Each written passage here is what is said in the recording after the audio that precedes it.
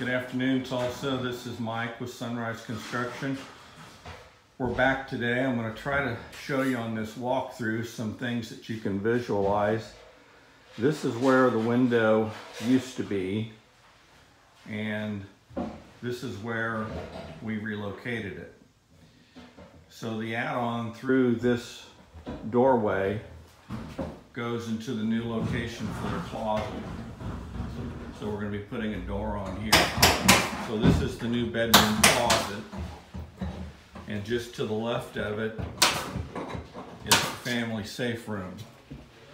Now if we come down this direction, you'll see the rest of the bathroom. I'm gonna cut it off though right now. Part